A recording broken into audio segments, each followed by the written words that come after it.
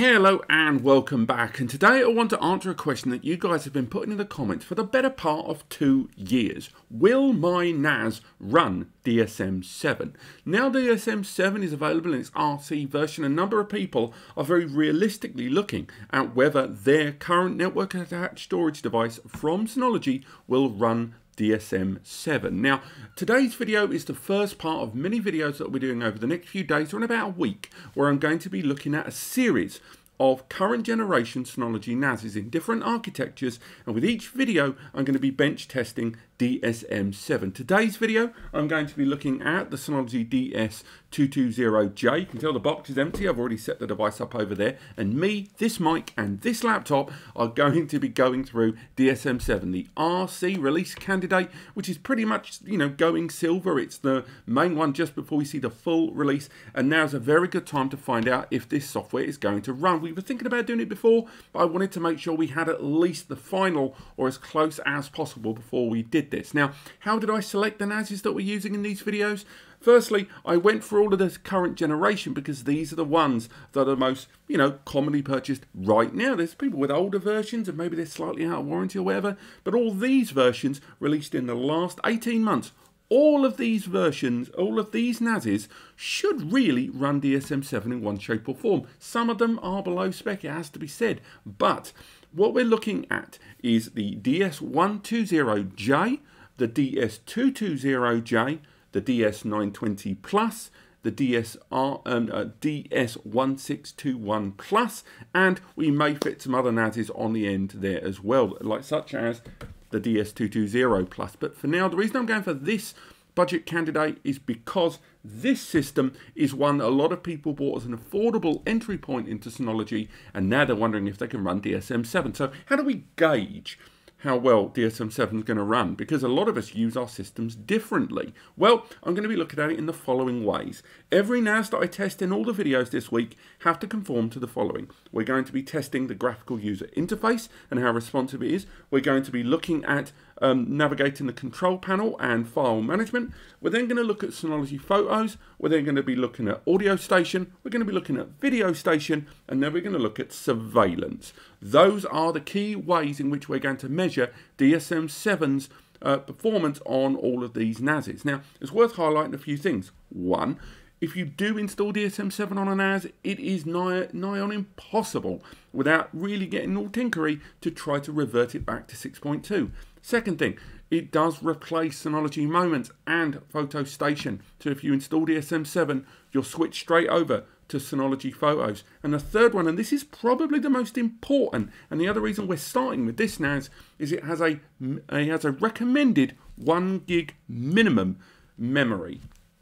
And although we are going to be testing on a sub 1 gig memory uh, NAS in the future video on the DS120J, it's worth highlighting that 1 gig of memory is quite, you know, that slices off a lot of the affordable disk stations, you know, sub DS218 Play, I believe. So, although lots of systems are on the compatibility list, including ones like the DS115J, which is less like a quarter of a gig of memory, and it has its version of DSM7, so long as you make it abundantly clear that DSM7 runs at its best with one gig of memory, so we have to bear that in mind. But I've been rabbiting you for long enough, I promise the intros are going to be way, way, way shorter on the other videos. I just wanted to get the full intro out there. Let's make our way into the DS220J with DSM7 and see how well it performs.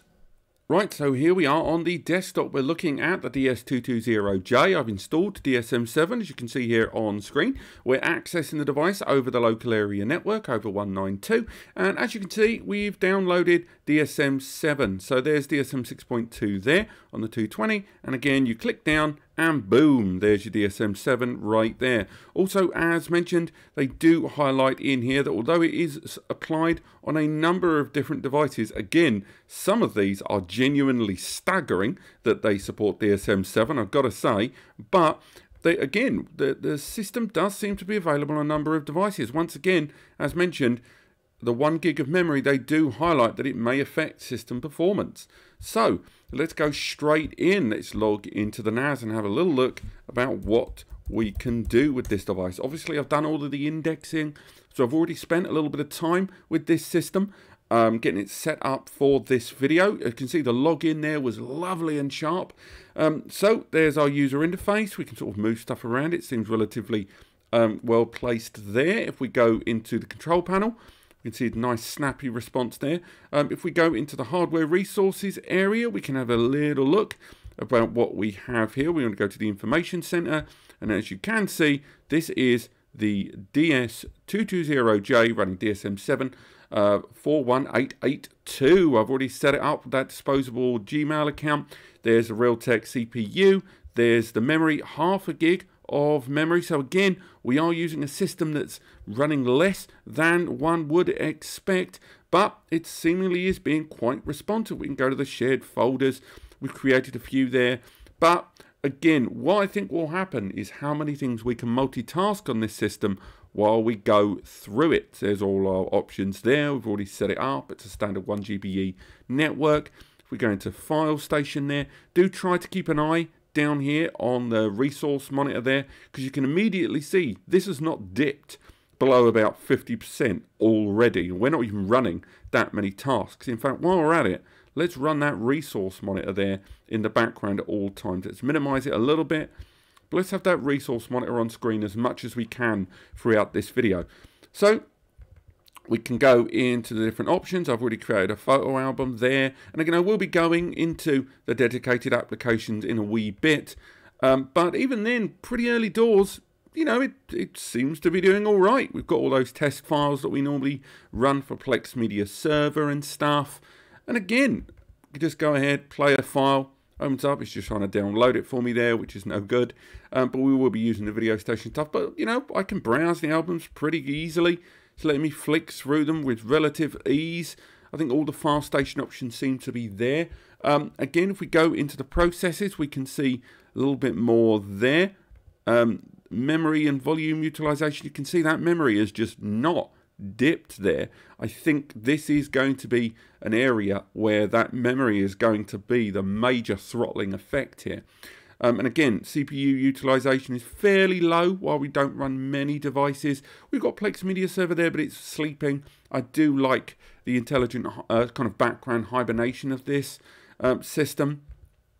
So next, let's make our way into Photo Station because we want to see, uh, not Photo Station, tut tut tut, we're talking about Synology Photos. Synology Photos, which of course opens in a new tab. I've already chucked on a load of photos on this system. Um, one early critique I will say is the indexing on this system was painfully slow. Um, it, eh, you know, I, I, would expect that with that small amount of memory. But just to put that into perspective, another video that's coming up shortly is going to be the video for the DS120J, which has got um, a, you know, um, an arguably smaller amount of memory. I believe, I think this device, oh, it has the same memory at 512 megabytes. I'm thinking of an older one. But if we go for this system and log into this one, the 120J, at the moment, because it's taking so long to do that indexing there, it is very much a slower case of affairs. So we've had to delay the DS120 video for a day or two because it's taking so much longer to do the indexing. Because unlike this system with its quad-core Realtek ARM 64-bit, this system's running a dual-core 800 megahertz uh, Marvell 32-bit, and just the resource utilization while it's indexing all of those files it's just taking forever so again do stay tuned for that video but going back into synology photos here one of the things that impressed me quite early doors is it was still running the GIFs quite well there in the background. I assumed that um, Synology Photos would have to clip its wings in terms of features and functionality. Um, but seemingly, you know, it's displaying all that information. Do ignore the fact we've got duplicates there. When I was going back and forth with the copying, I think um, some of our photos got duped. That's not the Synology's fault. That's very much my own fault there. But if we go for a photo, there's um, Home Alone, the board game, because I'm super cool people. You know, we've got, um, we can access some of the information there, but I don't believe that is a photo that's been geo-tagged. So let's try and go for one there. Actually, better yet, we're in Synology Photos. Let's go straight into those smart albums there. So we can go into the places, find lots of information about locations as well, that it's used the geolocational data there in the background. The tags, we don't have the tag supported there at the moment. This could be a limitation of the system and its memory, but I've had this um, NAS up and running now for about 48 hours with a relatively small amount of data. Um, so we've not seen those tags be implemented yet. Um, if we carry on, if we want to look at one of my personal favorites, uh, photos of a friend there, yes, that's Dan, he's a child. Um, but if we scroll down, let's go for something a little older and try and go for a photo. We're going to take uh, have a look at Ron's butt. We can go in, but again, I think maybe we're using photos here that have already had their filters played with, so it does make it a little bit tough there uh, to test the background data, but it's still seemingly running quite well, has to be said. Um, the thumbnail generation's pretty good. I like that the live photos and GIFs are all being done quite well there in the background. All of those photos running very, very well indeed. Uh, nice and easy there. But once again, I think um, we're not seeing as much information as we might like. But again, I'm going to go easy a little bit on the 220J here uh, because I think we are still using um, suboptimal amounts of memory for what DSM considers uh, fully stable. But you can still access Synology photos. Um, if we go back into the DS220J, um, we're going to go into Audio Station. Now, of course, I apologise in advance, we can't actually play music, which is really annoying. Um, but we can have a look how it's indexed all of the files as well as we can still it's still being not lovely and responsive. Lots of stuff there in the background. Again although you're not going to be able to hear it I can go for some old video game music click play and you'll be able to tell from the playback that it is indeed playing. So again plays there instantaneous and again it's over the network is what I would expect. Again flick between to another tune it's playing it doing it all there in the back. You've still got all the sharing options, all the stuff that you want. So again, audio files, I'm going to say that's going to run absolutely fine. Video station, a little bit more of an arguably harder task to run. Um, and we can have a little look how Video Station performs on this system. The majority of you are not really going to be accessing Video Station locally. Let's be realistic. You're going to be accessing it uh, um, remotely over the network, sure, but you're going to be looking at stuff on your TV. You're going to be accessing it there in the background and it's going to be indexing. Let's go for it there. Let's add a couple of folders there. Go for responsiveness there. Let's add a, a folder. Let's find TV shows. Go into the video folder. Go into TV shows. Click select. Click OK and let it index that file. Same goes for movie. Let's repeat the same steps. Oh, wrong one. Movies. Click OK and let it index that folder. It's going to do that in the background. It's starting to build that index in there. Lovely straightforward stuff. So we'll come back to Video Station in a moment. We'll leave that tab open. Um, so we've done the multimedia aspects of this. And again, we've got stuff like the storage manager, which is still just as responsive, giving us an idea of the storage user interface there. Stuff about smart test. We can find out more about the storage volume. And we're running a, a couple of drives there, as you can see, in uh, an SHR, a couple of Synology hard drives. Again, we can sort of go into it, go into the health info as well. Lots of the smart history stuff there in the background. Um, again, it's a Synology drive, so there are uh, kind of advantages there. Go to the firmware update, and if there is a firmware update from Synology, it would appear here on their drives. And it's nice that that has been implemented into this, even though these drives arguably are for a much higher tier utilization. This system doesn't have SSD caching bays, otherwise they would arrive here on screen. So next, let's make our way over to surveillance. So if we go into the surveillance application, we're going to click on surveillance station. Um, I am using OBS throughout this video, so this may impact some of the stuff we see on screen. Bear in mind that right now we are utilizing a little bit more in terms of system resource. If we open up the system resource manager, we are currently running Video Station doing some indexing there in the background while it's indexing those files and it will start scraping for metadata as well. But now we're running surveillance station here in the background. So we can have a look at the utilization. The memory, in its defense, going by what we're seeing here on screen, isn't struggling too much. That Realtek CPU, they've done a very good job of running um, um, their software platform on that processor. I don't think they run BTRFS. Maybe we should check that. Maybe I should not accidentally click the wrong banner there on screen. Um, if we go back into surveillance station while it uh, flicks us around there in the background, we're Going to the live view, um, we have connected a couple of cameras to this software. So there should be um, some cameras there on screen. So have a little look. Oh, it looks like we're not set up yet. So let's go ahead into the IP camera settings. Let's add our cameras. Must have set it up on the other now. So we can go ahead, start adding cameras here. So have a little look. Open up the ONVIF. Let's open up that. Let's get that camera logged in. Get that camera added. And again, it's still being lovely and responsive here for us.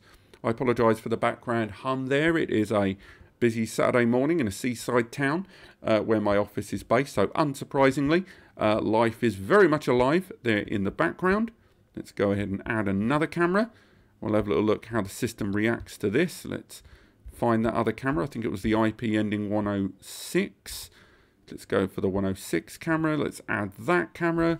Call it ONVIF 2. Go ahead, put in the login. We kind of default admin a lot of this stuff here. So we can go ahead, click next.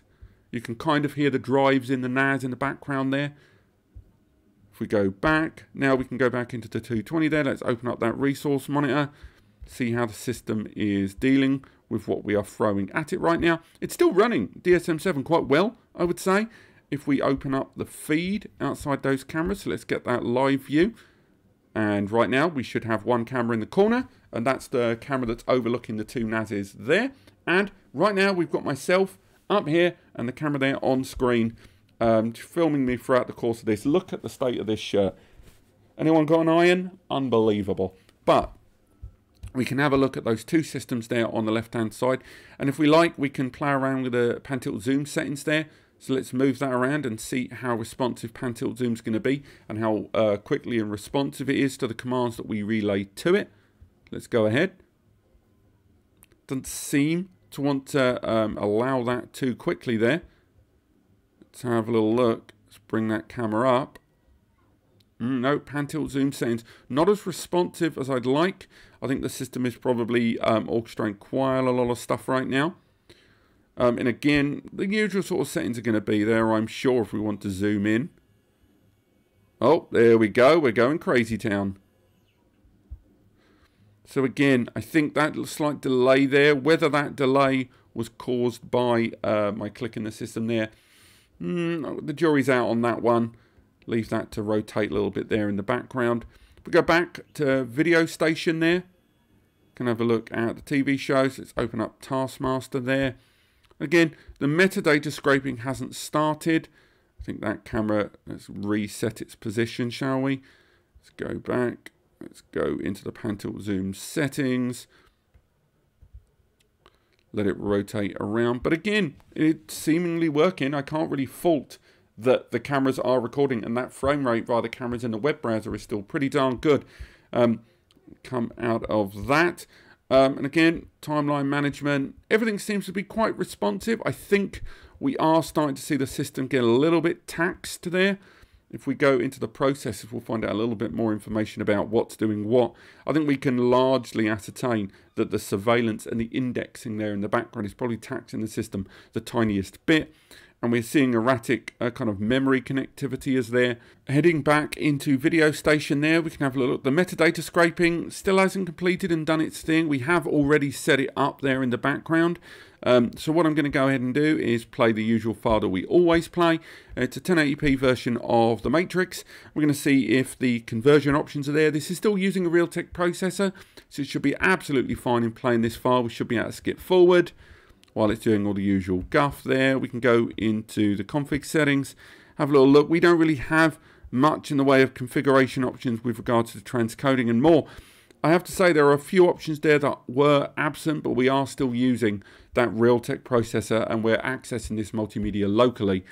But it is still able to give us access to that file, which is always good. And again, I think multimedia wise, we get kind of what we expect from this. So I'll come out of video station there. Let's go back into surveillance station as well.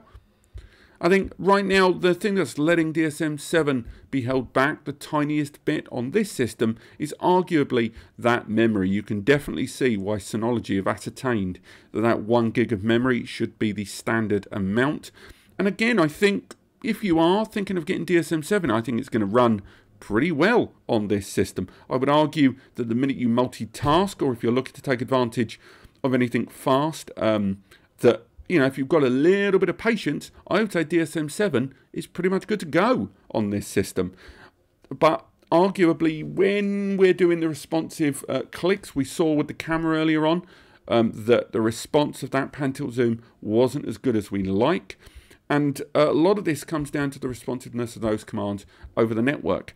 Um, again, we are still using the DS220J, so we have to remain relative at the very least. But I am going to be covering this subject all week, and I will be filming a second barrage of these tests later on. So if there is a specific modern generation NAS that you want to see, let me know. Um, but again, we will be testing the majority of the Ryzen, Intel, and Realtek based systems anyway. So do check those out. But otherwise, thank you so much for watching. I hope you found this video helpful. Do let me know if you have. And of course, click like if you've enjoyed the video. Subscribe if you want to learn more. And if you want to stay tuned for the other DSM-7 tests this week. But otherwise, I will see you next time.